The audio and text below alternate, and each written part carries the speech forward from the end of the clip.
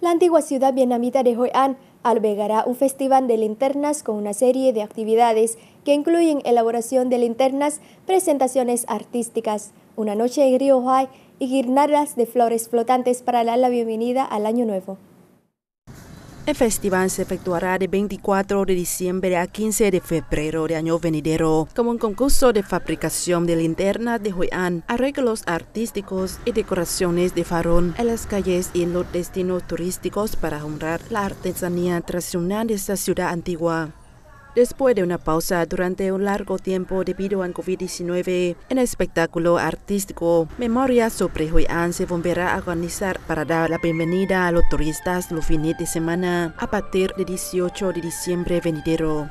En septiembre pasado, Hoi An fue elegida entre las 15 mejores urbes de Asia en los premios mundiales 2021 de la revista de viajes estadounidense Travel Laser.